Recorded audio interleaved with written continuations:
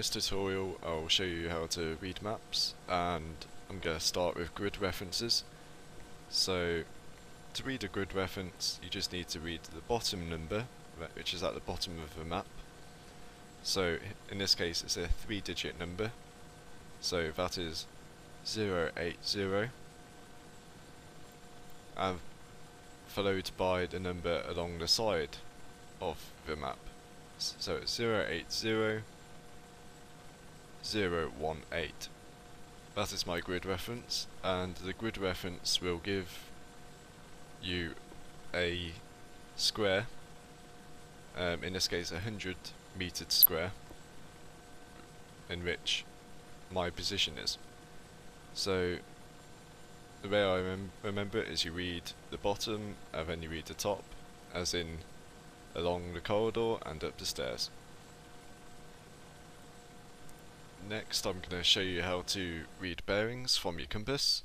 Um, bearings are useful for giving locations of the enemy. Um, so we're going to pretend that little monument or tree on that hill is an enemy.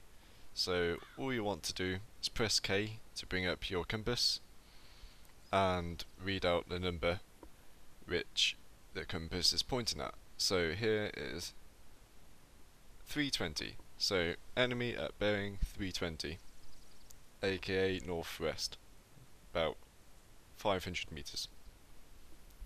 And that is how you use compass bearings. Um, very simple, really. Okay, finally for simple navigation, I'm going to show you how to read contours. Contours are hills on a map.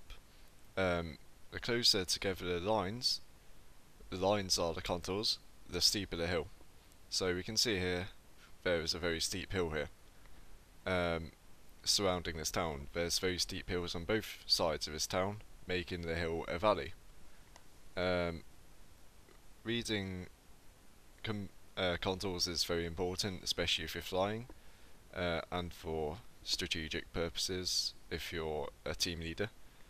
Um, but we won't go into the details right now and this is an example of a shallow hill or a not very steep hill because the lines are a bit further apart.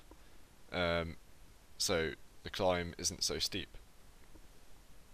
And as you can see this road is surrounded by hills so it is it in a valley.